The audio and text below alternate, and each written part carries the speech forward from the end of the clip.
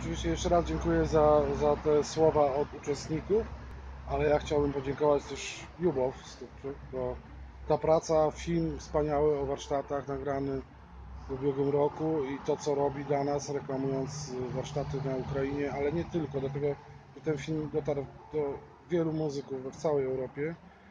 No, to jest świetna sprawa i bardzo Ci dziękujemy, bo dzięki takim ludziom jak Ty, to tak naprawdę się też to wszystko rozwija. No, i oczywiście podziękowania dla całej kadry, bo bez nich by tutaj nas nie było. No tak, ale to jest taki zespół, e, prace, które robimy razem, tak? Bo ten film to też szczęście i operator, i chłopaki, jakie to wszystko montowały do kupy, i telewizja z Ukrainy, jaka załatwiła. Tak. Telewizji również dziękuję, Lviv, bo się tak. cieszę, że ta współpraca nasza trwa już tyle lat. No to jest bardzo ważne, naprawdę, także że to, że znajdujecie czas i możliwości, żeby tu przyjechać, to, że możemy to razem robić.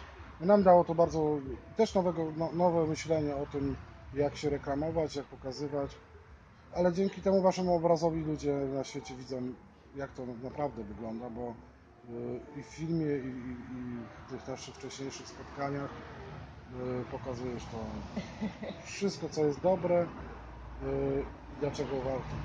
Także bardzo dziękuję. Marcin, dziękuję za zaproszenie. Dziękuję Igor Gnydynu za tą ideę, z jakiej wszystko się zaczęło. No, Igorowi i tak, Nastii. i Naście, Tak? oczywiście, i. Naście. Dziękuję Dziękuję. bardzo.